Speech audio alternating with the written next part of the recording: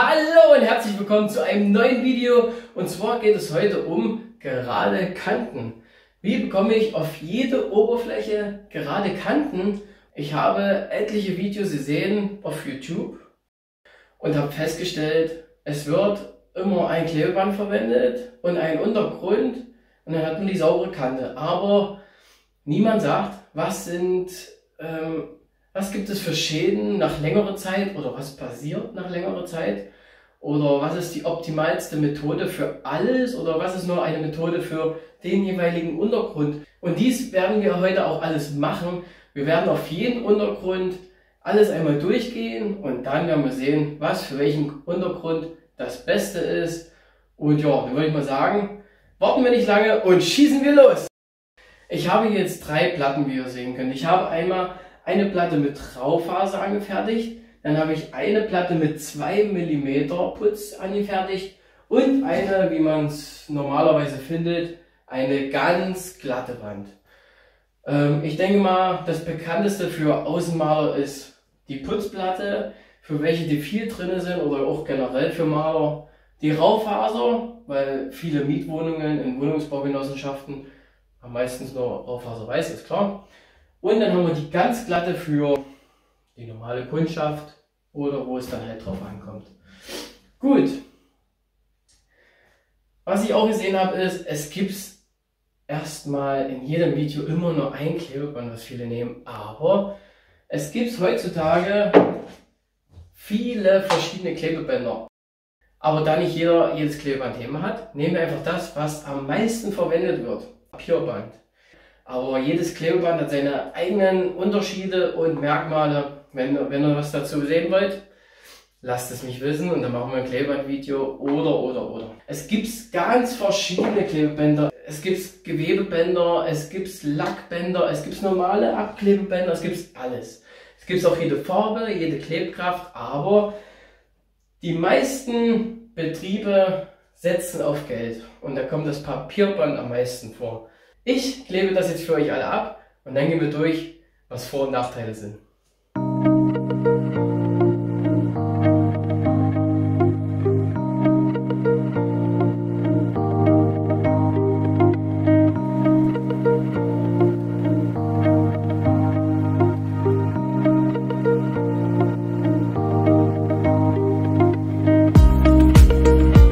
So, ich habe jetzt für euch alles abgeklebt und jetzt gehen wir jede Platte durch, gehen jeden Schritt durch und dann sehen wir, was passiert und was das Beste für, je, für den jeweiligen Untergrund ist. Fangen wir mit der ganz glatten Platte an. Und zwar gibt es fünf Schritte, die man machen kann heutzutage. Außer mit dem Pinsel beschneiden gibt es einmal das Hinterlegen mit Farbe, wo man einmal mit dem, mit dem Unterton unter das Klebeband drunter streicht, trocknen lässt und danach den gewünschten Farbton drauf streicht. Aber das ist mit Trocknungszeiten verbunden, was viele dann nicht möchten, weil viele schnell fertig werden wollen. Deswegen ist das eine Variante, die ein bisschen mehr Zeit in Anspruch nimmt. Dann gibt es die Variante mit dem Acryl. Da tun wir mit dem Acryl am Klebeband und am Untergrund einmal langziehen, um den Hohlraum zu verschließen. Und dann gehen wir mit dem Farbton entlang. Aber, das werdet ihr dann bei der Putzplatte sehen, dass das nicht immer optimal ist. Dann gibt es eine Methode, das ist das sogenannte Spritzen. Manche kennen die Spritzen mit der Airless, manche spritzen mit der Sprayflasche. Oder es gibt dann auch so eine Farbsprühpistolen. Ist eine gute Sache, geht am Klebeband wunderbar, aber manche haben diese Technik nicht zur Verfügung. Wir werden es heute mal mit der Sprayflasche machen. Und dann gibt es noch eine Methode, wo man mit dem Rakel, mit dem Malerrakel anhält. Und dann gibt es noch die Methode, einfach andrücken, vorsichtig streichen und fertig. So, fangen wir an mit dem Unterlegen, denn das braucht am meisten Zeit. Dann werden wir immer den ersten nehmen, damit wir uns da, wenn da nichts passiert, an Trocknungszeiten. So, wir haben das jetzt unterlegt lassen das trocknen. Wir machen mit den nächsten Schritte weiter. Und zwar kommt hier jetzt äh, das Acryl. Obwohl, wir machen hier das Acryl, da seht ihr das noch viel besser. Oh, wir hier. Wir machen hier für euch das Acryl. Wie gesagt, dünn draufziehen, das reicht vollkommen. Ihr braucht nicht viel. Das ist nur damit das verschlossen ist. Vom Klebeband zum Untergrund. Einmal den Finger lang ziehen. Und fertig. Was ganz wichtig ist, wenn ihr das macht, lasst das Klebeband nicht zu lange drauf. Denn wenn ihr das zu lange drauf lasst und das Acryl ähm, fängt an mit trocknen und ihr wollt abziehen, reißt ihr das sozusagen ab und dann sieht das richtig ausgefranst aus. Die Variante einfach nur einmal fest andrücken mit dem richtigen Kleber immer gut und dann streichen wir die Variante einmal.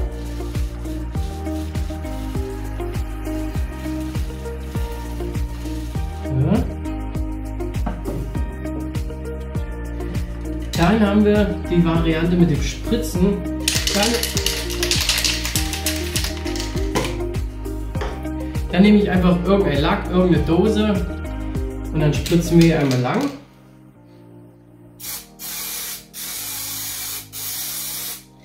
So. Und das. Und dann gibt es, und dann gibt es noch die Sache mit dem Rake. Der, ein Malerrakel, den halten wir einfach an dem Untergrund an und streichen hier mit dem Pinsel lang oder mit der Rolle. Für euch mache ich es mal mit dem Pinsel. Ja, die machen wir einfach hier hin. Anhalten, fest draufdrücken und einmal streichen. Und jetzt machen wir das Hinterlegte. Das werden wir jetzt auch noch rollen. Wie gesagt, ich gehe da jetzt einfach bloß mal mit der Rolle drüber und wir sehen ja, was da auch passiert.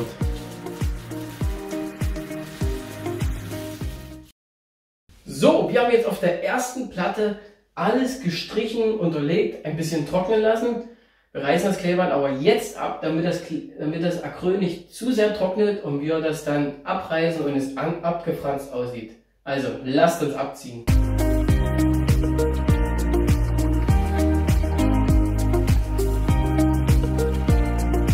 Also wie ihr sehen könnt, sprechen die Ergebnisse für sich. Ihr könnt theoretisch alles machen. Es kommt darauf an, wie ihr es haben möchtet. Aber wenn man es genau betrachtet, haben wir hier einmal das mit dem Rakel. Das sieht jetzt nicht sonderlich gut aus. Es geht. Ja, das Unterlegte ist eine top gerade Kante geworden. Das Gesprühte auch. Und dann haben wir noch das Acryl. Das ist auch eine saubere Linie geworden. Wunderbar. Das war jetzt die glatte Fläche und jetzt kommt im Schnelldurchlauf die anderen zwei Flächen, die Rauchwasserwand und die Putzwand und, und danach werden wir uns angucken, wie alles aussieht, was welche Folgen hat und wie man welche Folgen vielleicht verhindern könnte und dann steht uns nichts mehr im Weg. Let's go!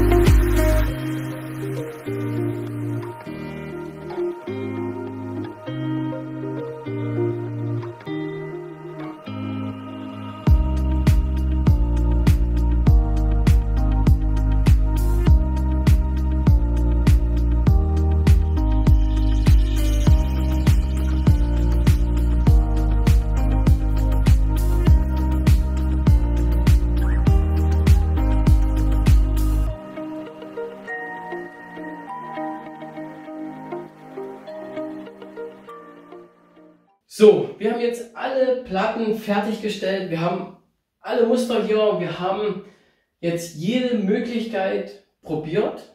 Und jetzt äh, gucken wir uns jedes Beispiel an, um vielleicht noch das eine oder andere zu verbessern, um zu sehen, was, wo sind die Vor- und Nachteile. Lasst uns nachgucken. So, hier haben wir die Kante mit dem Rakel. Ihr seht, es ist bis auf, auf der geraden Fläche ist es überall dahinter gelaufen, weil wenn du mit dem Ragel musst du erstmal aufdrücken. Und da entstehen Hohlräume bei der Raufaser und bei dem Putz. Und klar, wenn du da mit der Rolle oder mit dem Pinsel streichst, das dahinter läuft. Sind wir uns einig? Auf geraden Flächen ist das machbar, dass es gerade ist, aber irgendwann sammelt sich die Farbe an dem Ragel beziehungsweise musst du dann auch mit einem Bleistift vorziehen die Linien und dann, und dann musst du wirklich exakt anhalten. Also ist es jetzt wirklich nicht so empfehlenswert. Danach ist die Sache mit dem dahinterstreichen und da habe ich habe ich es jetzt mit Absicht nicht so trocknen lassen, weil dann könnt ihr sehen, dass es mit dem dahinterstreichen geht. Auf, auf große Flächen, Fassaden und sowas, wo man jetzt, jetzt nicht genau hinguckt, ist das eine wunderbare Möglichkeit, aber im Haus kommt es auf die Kundschaft drauf an. Denn wie ihr seht, wenn man richtig dahinter streicht, gerade bei dem Putz, sieht man, dass die Flächen dann gerade werden, weil zu viel Farbe dahinter ist. Und da sieht man, dass wenn Farbe an das Klebeband drückt, muss ja, weil damit es verschließt, und genau diese glatte Fläche hast du dann auf den Untergrund. Und manche, ich weiß nicht, ich hatte bis jetzt noch keinen, dem das stört, aber es kann ja mal sein, dass das jemand stört, dass man das sieht, dass man die Unterschiede sieht, wo das Klebeband hängt, wo man darunter gestrichen hat. Aber ihr seht, auf jeder Platte ist es gerade. Natürlich müssen wir das kurz trocknen lassen, aber auf jeder Platte beziehungsweise mit sehr körnigem Untergrund wie Putz oder auch Fraufaser. Ist eine wunderbare Variante, damit nichts dahinter läuft. Danach kommt die Variante mit dem Spritzen, wo ich sagen muss, Spritzen ist eine wunderbare Sache. Wenn ihr die habt, dann macht es, aber mit geübter Hand. Denn beim Spritzen ist es so, ihr müsst von jedem Winkel spritzen oder ihr rollt es nach. Wenn ihr es nachrollt, Kommt bitte nicht über das Klebeband, denn durch das Nachrollen mit einer Rolle drückt ihr die Farbe wieder unter das Klebeband und es sieht genauso aus wie bei den anderen Beispielen dann, dass die Farbe drunter läuft. Deswegen, wenn ihr spritzt, entweder aus allen Richtungen oder wenn ihr nachrollt, bis kurz vor dem Klebeband. Ihr seht, Spritzen ist eine wunderbare Möglichkeit, um gerade Kanten zu bekommen, wenn man die Möglichkeit hat mit der Technik. Und wenn das Klebeband auch noch stimmt, steht euch da nichts mehr im Wege. Danach haben wir die Kanten, wo wir das Klebeband angedrückt haben. Und zwar ist es da so, es kommt auf das Klebeband drauf an. Wir hatten jetzt Papierband, wo die Firmen wirklich gucken, wo können wir sparen. Und da ist es halt leider nur mal so, dass die meisten auf Papierband setzen, aber langsam switchen die um auf Goldband und das klebt ein bisschen besser. Das heißt, Hätten wir es mit Goldband gemacht, wäre es vielleicht nicht so dahinter gelaufen. Können wir uns sicher sein, auf glatten Untergrund wunderbar, wenn man es andrückt, kann man machen. Aber auf, auf Putz oder auf Raufaser, je nachdem, nicht, nicht so zu empfehlen. Und dann haben wir die Kanten mit dem Acryl. Mit dem Acryl ist auch eine wunderbare Sache. Das Problem ist nur, das Acryl verschließt. Das Acryl ist weiß. Das heißt, wir haben dann immer die verschlossenen Räume weiß. Wenn ihr in der Privatkundschaft jemanden hat, der genauer hinschaut und das nicht sehen möchte, habe ich für euch einen Tipp. Nehmt transparentes Acryl. Das sieht man nicht gleich, aber ist die einzigste Variante, weil wenn ihr weißes Acryl nehmt, ist es klar, es läuft dahinter. Es verschließt ja auch und es ist weiß. Man hat eine gerade Kante und draußen an Fassaden ist das alles machbar. Ist das alles wunderbar. Aber wenn ihr jetzt äh, bei anderer Kundschaft seid, die genau wirklich hingucken, auch draußen vielleicht kann sein, das Einzige, was ihr da machen könnt, entweder eine andere Methode nehmen oder transparentes Acryl. Und dann haben wir noch die Folgen vom Acryl. Und zwar, die erste Folge ist, wenn wir Acryl zum Verschließen nehmen, ist die Putzstruktur nicht mehr dieselbe. Es füllt ja Acryl und dadurch sieht man das. Aber ich hatte bis jetzt noch niemanden, dem das wirklich gestört hat. Wenn man jetzt aber nur einen Anstrich macht, kann die Farbe darauf reißen, denn Acryl ist ein Dichtstoff und Dichtstoffe sind elastisch. Und die Farbe, wenn die trocknet, reißt die Farbe. Ich höre immer, das Acryl reißt. Das stimmt so nicht, denn das Acryl reißt nicht, das Acryl arbeitet und die Farbe darauf reißt. Deswegen könnte es sein, bei ungünstigen Farbtönen, dass es anfängt mit Reisen mit der Zeit. Nicht gleich in einer Woche, sondern erst über die Zeit. Ansonsten, wie ihr sehen könnt, haben wir bei allen drei Beispielen mit Acryl keine Probleme. Es ist eine wunderbare Methode und wie ich es euch schon gesagt habe, wenn ihr Acryl macht, bitte Wand für Wand und nicht kein ganzes Zimmer. Das schafft ihr zeitlich nicht. Das kann ich euch sagen. Denn ihr müsst wissen, ihr habt Trocknungszeiten und manches Acryl, das trocknet schneller, manches nicht so schnell, aber ich würde da immer nur Wand für Wand machen. Da geht ihr auf Nummer sicher und es trocknet dicht an und beim Abziehen sieht es nicht ausgefranst aus. Und das waren die Beispiele für gerade Kanten. Wenn ihr irgendwelche Fragen habt, oder wenn ihr irgendetwas sehen wollt, lasst es mich wissen, schreibt es in die Kommentare und wenn euch das Video gefallen hat, lasst ein Like da oder ein Abo und dann würde ich sagen, macht's gut, ich mach's vielleicht besser, bis zum nächsten Mal. Haut rein, ciao!